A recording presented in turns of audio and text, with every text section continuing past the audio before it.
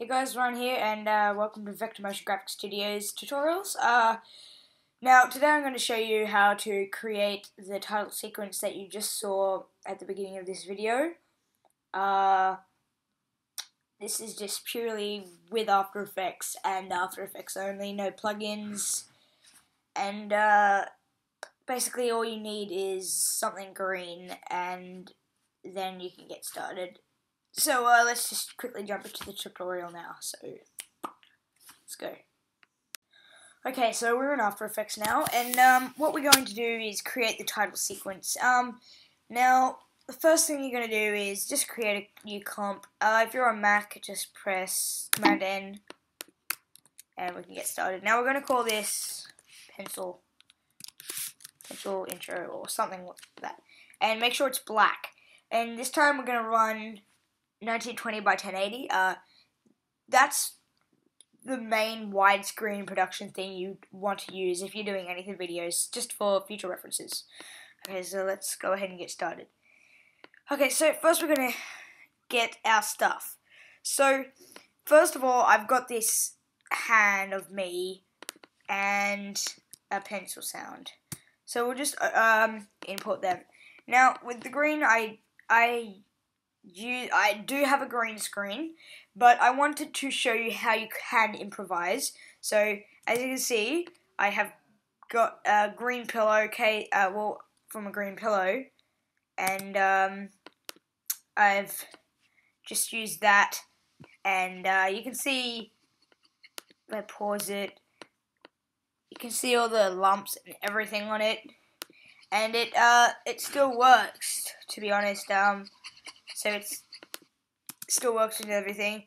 Second of all, I've also got a pencil sound. Um, so what I did with that, I actually just put my microphone next to a piece of paper and just rubbed up and down with a pencil. Yeah, it's as easy as that. So uh, let's just get started. We got them. Now let's rename this hand. Okay, so the first thing we're going to do, we're going to get the hand. And we're going to go transform fit to comp.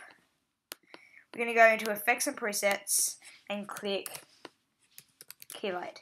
Uh, I've done keylight before. Uh, I think I've done a tutorial about it as well. And we're just going to grab it into that. Now, at first at the moment, this will look crap, especially if you're using um, what I've just used, a pillow but we'll fix that in a second. Uh, also, if you're using a green screen, uh, it will look better, but we uh, also have done this in uh, in another tutorial. Now, usually I just go view screen matte, but since it's not really that quality important, I'm just going to go down to screen matte, bump the clip black up to around, yeah, 35-ish, maybe around that and take the clip white and make it like that, maybe a bit lower.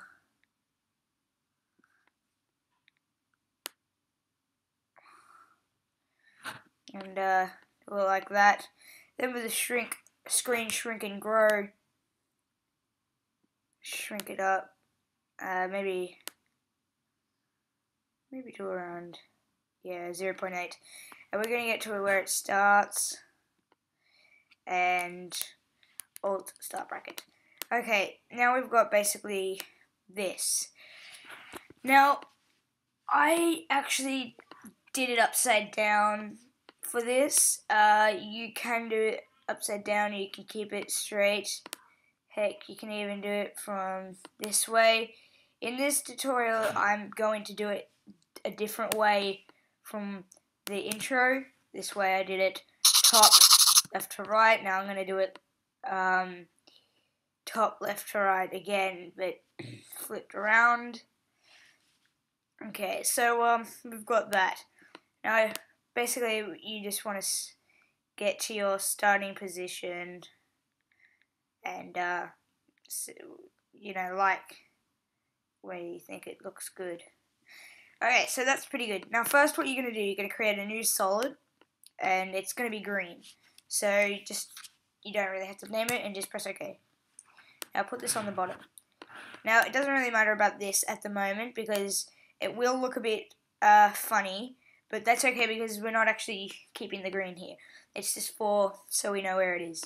Now, second of all, we're going to need a new solid, and we'll call this block. And we're to make it black. And now we're to put this behind the hand. Now, um, okay, so now we're to, we're to actually shut those, all those layers off. And create a new text.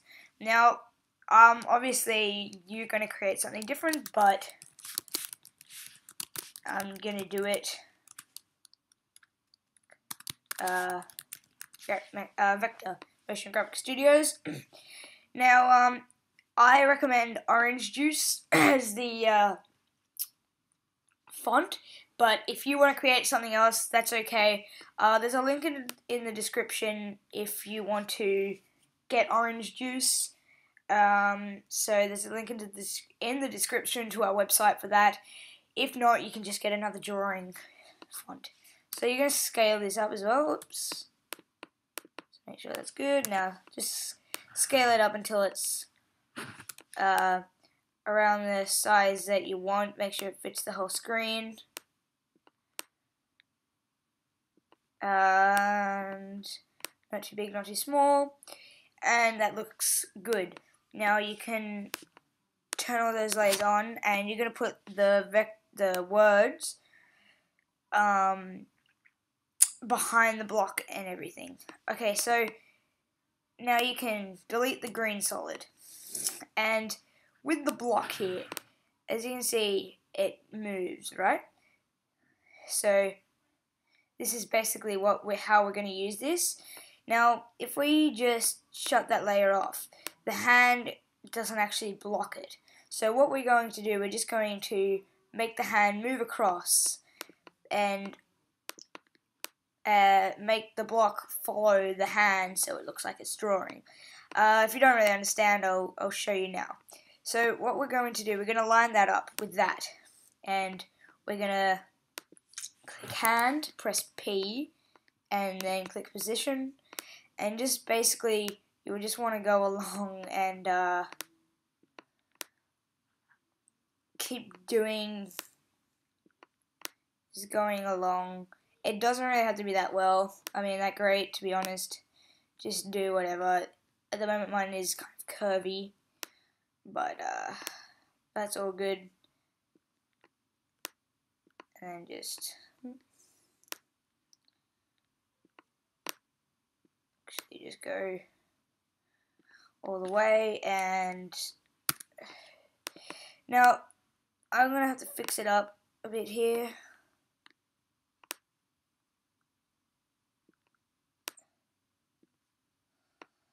so let's just fix it up that wasn't there before so let's make a mask around that uh, and with the mask negative subtract, and then that's gone. Okay, um, that's good. So now we've basically got the hand movement across the screen.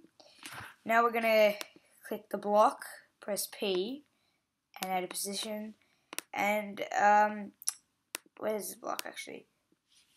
Oh. So we're gonna get the block, and basically put that there. Then we're gonna go P, and we're basically gonna just keep the edge, edge of that block um, right where the tip of the uh, the pen is. Now, uh, you will have a look at it and be like, "Oh wow, that's rendered really, really badly." But um, that's only because of the green screen that I used. Um, to be honest, it's uh, barely a green screen at all, but you know, it's just improvising how trying to show everyone how to improvise as well as I can. Uh, I can't really improvise that well at all.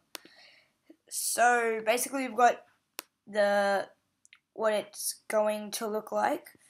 Now, what we're going to do, uh, try and find a better image. As you can see, like it's really sharp. Actually, it's pretty good. It's really sharp, and we don't want it as sharp as it as it is now. So we're gonna grab the block layer, and we're gonna press G, and we're literally gonna um, just with our best memory of doing it, outline the this. And then we're going to go zoom up and press F and feather it out just a tad so you can just still see it. And uh, it won't matter too much with the feathering as long as you do it correctly.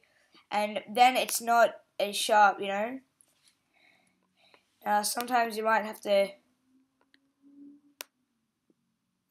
like there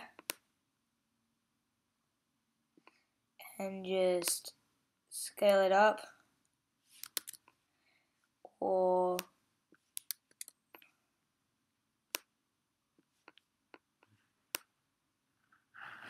it across and just fiddle around with that a little bit and uh, basically you should have a nice drawing technique there might be a few ifs, uh, bits and bumps that you that will probably occur, um, but that's okay. So now that we've just get our pencil sound,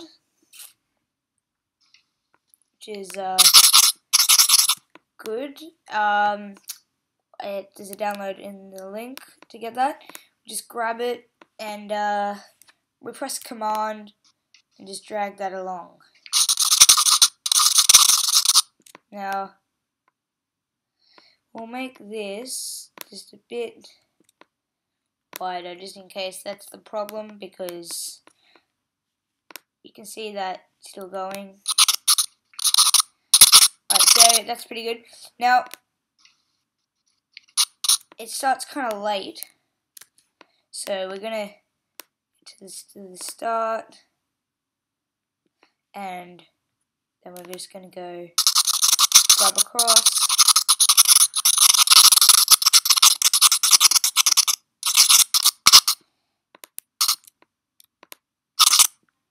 and then it stops. And uh, just shorten that. And then that's basically it. It goes for around 10 seconds, uh, maybe a bit shorter. And that's basically it. Uh, to render it, if you really want to render it well, just go File, Export, Add to Render Queue, um, save it and everything. Go uh, QuickTime DV NTSC 48KHZ. Now that's basically the best type of render without uh, your your audio going to crap. Basically, sometimes it just doesn't mix at all, and uh, it's something's majorly wrong with it at the end. So um, yeah, so that's basically how to do it. It's rendered now, and let's have a look at it.